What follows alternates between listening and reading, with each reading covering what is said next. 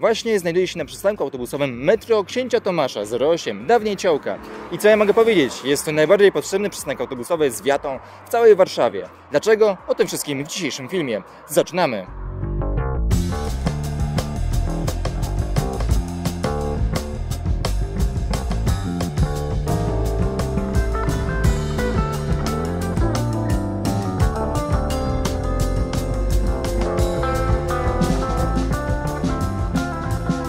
Warszawskie inwestycje. Witam Was tutaj, cześć cześć wząż. I zapraszam Was już teraz na kolejny materiał z warszawskich inwestycji. Tutaj jest na stacji metra Księcia Tomasza. I choć właśnie widzimy ten najsłynniejszy przystanek autobusowy, to zanim do niego przejdziemy, to oblećmy sobie wszystkie pozostałe przystanki autobusowe w całej tej okolicy. Do tego przystanku, który teraz jest najsłynniejszy oczywiście, są schody ruchome w tym miejscu, są zwykłe schody i oczywiście windy. Natomiast do tych pozostałych przystanków, a zazwyczaj są zwykłe schody. Jak na przykład w tym miejscu, gdzie znajdują się dwa przystanki autobusowe, 05 i 06, to są dla linii 184, 197, 201 i Z23, które tam się aktualnie zatrzymują. Następnie widzimy przejście dla pieszych i przystanek po lewej stronie. To jest przystanek dla wszystkich linii w kierunku e, centrum. On jest e, z numerem 01, 129, 171, 190, 249 i 523. Tu się zatrzymuje również N42 i N43. Następnie możemy zobaczyć kolejne wyjścia. Tutaj są schody ruchome do góry, do dołu i w tym miejscu jest przystanek dla linii autobusowej 197 w tym miejscu i po drugiej stronie jezdni był też kolejny przystanek autobusowy dla linii 129, 167, 190, 197 i N42. A tu już widzimy standardowy przystanek taki normalny, czyli 02, 167, 171, 190, 239, 523 i N43. Wszystkie linie autobusowe, kierunek e, przez metro e, Bemowo. I tak to się wszystko prezentuje. Zwróćcie uwagę też, że ten przystanek po lewej stronie to był kiedyś przystanek krańcowy dla wszystkich linii autobusowych, znaczy początkowy dla wszystkich linii autobusowych linii 700, kiedy metro tylko wyłącznie jeździło do tej stacji metra, bo jeszcze po prostu dalszy odcinek był budowany. Jak i również e, po prawej stronie był przystanek autobusowy dla wszystkich autobusów wysiadających. A ten tu przystanek, ten tu przystanek jest najlepiej zrealizowany, jeżeli chodzi o udostępnienie i dojście dla wszystkich pasażerów. No, może tylko i wyłącznie przystanek 01 w kierunku centrum Warszawy ma lepsze połączenie, bo ma schody ruchome i do góry, i do dołu. Z kolei ten przystanek autobusowy, który jest dzisiejszym tematem odcinka, jest dosyć dobrze skomunikowany ze samą stacją metra. Ma dwa wyjścia, po jednej i po drugiej stronie, wyjście numer 1 i wyjście numer 9 ze schodami ruchomymi, ze zwykłymi schodami, z windami z jednej i z drugiej strony. Ma nawet K plus R e, i ma oczywiście wiatę dużą, która w tym miejscu się znajduje. To jest ta weta największego rodzaju, jeżeli chodzi o przystanki autobusowe, czteroczłonowa z tych nowych. Nie ma na żadnej sobie reklamy aktualnie dozwieszonej. W samej wiacie znajduje się mapa z 2022 roku, dobrze pamiętam, z listopada, więc więc ona tam faktycznie jest. Na czteroczęściowej, e, w czteroczęściowej wiacie znajduje się trzyczęściowa e, ławka, na której właśnie sobie siedzę, jak widzicie na załączonym obrazku i jest całkiem wygodna, można się tam schronić przed wiatrem, przed śniegiem, przed opadami, ale niekoniecznie przed słońcem, bo słońce pod aktualnym kątem już faktycznie przy siedzeniu we tam świeciło. Sam przystanek jest całkowicie dostosowany dla wszystkich osób niepełnosprawnych. Ma oczywiście on drogi prowadzące, jak i również drogi prowadzące dla osób niewidomych. Ma wszystkie pola uwagi, jest tutaj nawet zatoczka. Zatoczka jest długości 33 metrów, więc na spokojnie jeden autobus przegubowy tutaj się zmieści bez większych e, problemów.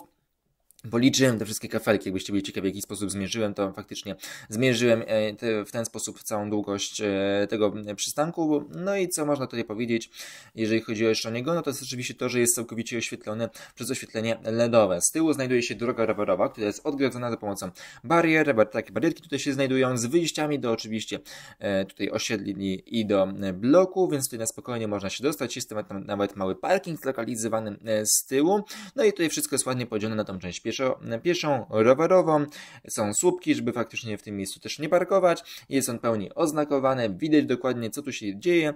No i tak on tutaj właśnie w tym miejscu sobie e, funkcjonuje. Więc e, tak, to jest faktycznie dosyć ważny przystanek autobusowy w całej systemie metra warszawskiego, jeżeli chodzi o połączenia pomiędzy metrem, autobusami, no to faktycznie to jest jeden z takich czołowych przystanków autobusowych. Za chwilę sobie go zetkniemy jeszcze niego z bliska, żebyście zobaczyli. Zwróćcie uwagę tylko i wyłącznie, że faktycznie ruch na nim pasażerów nie jest aż taki duży. Można zobaczyć, że towarzyści się z tyłu kręcą, piesi raz na jakiś czas faktycznie też przejdą po tym chodniku w tym miejscu. Ale nie ma tutaj nie wiadomo jak dużych e, tłumów, jeżeli chodzi o wykorzystywanie tego przystanku, po prostu jego potencjał się jeszcze aktualnie marnuje.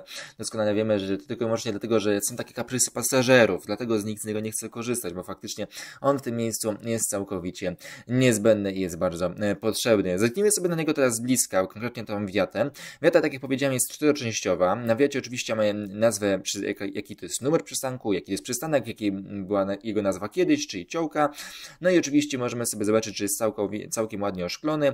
E, jest oczywiście e, wszystko ładnie niewybite. Z tyłu nie znajduje się żadna reklama jeszcze, więc to jest jeszcze wszystko przed nami, żeby osiedle faktycznie też było z reklamami. I na górze nie mamy ani paneli fotowoltaicznych, ani e, części trawiastej. Tu jest taki zwykły przystanek bez jakichś większych, bardziej odjechanych bajerów. Mało tego, widzimy nawet tutaj drogę prowadzącą, jest podwójna.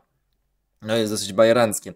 Podwójna droga prowadząca do osób niewidomych. No tego, czego tego akurat faktycznie nie zauważyłem wcześniej. No dobrze, to tak mniej więcej wygląda cały ten przystanek y, autobusowy właśnie w tym miejscu, czyli metro księcia Tomasza 08. E, e, no i jeszcze sobie tego zadyknijmy z góry, z lotu ptaka, żebyście mieli cały, całą perspektywę na niego. Co ważne, przystanek autobusowy w tym miejscu znajduje się pomiędzy innymi przystankami autobusowymi, czyli pomiędzy przystankiem autobusowym 02, jak i również kolejnym przystankiem autobusowym, e, czyli oczywiście oczywiście park Moczydło i z ważnych informacji to jest jeszcze to, że przystanek w tym miejscu cały czas funkcjonuje od 2020 e, roku, kiedy to został oddany do użytku cała stacja metra w tym miejscu.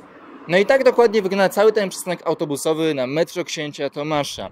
Jest tutaj wiata, jest tutaj informacja pasażerska, jest mapa ale nie ma autobusów i chyba ich tutaj nigdy nie będzie. Linie 700 aktualnie dojeżdżają do metro Bemowo. W teorii mogą tutaj dojechać, kiedy metro Bemowo nie będzie działać, tak też ma miejsce, ale z tego przystanku i tak nie korzystają. Nie korzystały, kiedy tylko i wyłącznie metro jeździło do księcia Tomasza i tak dalej, i tak dalej. Po prostu ten przystanek nie jest potrzebny i nie był nigdy wykorzystywany, nawet przez autobusy techniczne w ramach właśnie autobusów linii 700, bo autobusy linii 700 jechały dalej w kierunku prymasa tysiąclecia i tam zatrzymywały się na swoim tymczasowym krańcu. Więc co ja mogę powiedzieć?